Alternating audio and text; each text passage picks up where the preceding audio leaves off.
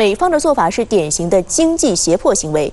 中国大陆商务部发文反对，因为美国自六月二十一号起禁止所有来自新疆的产品，从原本就封杀的棉花、番茄扩大到全部货物。从二零一七年起，美国国会认为中共在新疆拘押一百多万维族人，强迫劳动。但这样今年全面执法之后，美国的棉花、电池跟太阳能板都会受到冲击。美国在去年从中国进口九十亿美元的棉花产品，两成的美国服装含有新疆棉。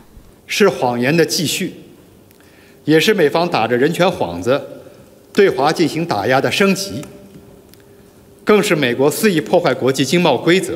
而此时，中国的官媒《环球时报》指称，美英加澳纽组成的五眼联盟正在收集编造证据，计划制造一系列所谓中国对西方进行政治渗透，以诋毁中国的国际形象。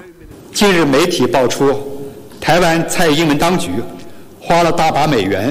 购买同美国领导人通话，以及同美高层官员交往等机会，不知道这些在五眼联盟的眼里算是什么？